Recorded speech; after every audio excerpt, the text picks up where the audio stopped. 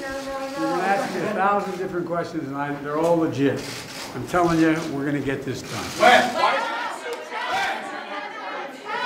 It It doesn't matter when. It doesn't matter whether it's in six minutes, six days, or six weeks. We're gonna get it done.